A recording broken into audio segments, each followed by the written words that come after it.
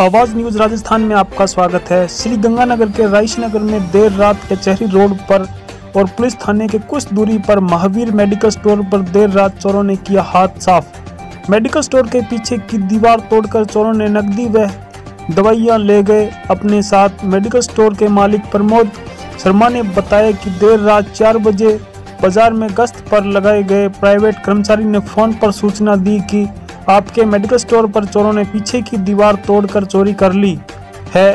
तभी आनंद फानन में अपने मेडिकल स्टोर पर पहुँचा तो देखा कि पीछे की दीवार टूटी हुई थी और मंदिर में रखे हुए छः से सात हज़ार ने कर दी।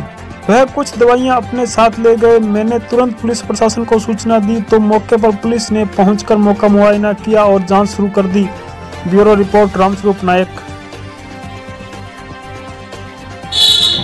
रात्रि करीबन चार बजे पुलिस ने मेरे को फ़ोन किया कि आपकी दुकान के पीछे से निकली हुई है मैं आया। आने के बाद देखा तो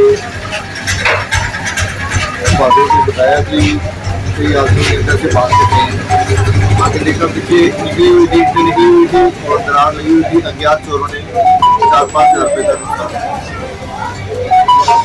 गला तोड़ के और गया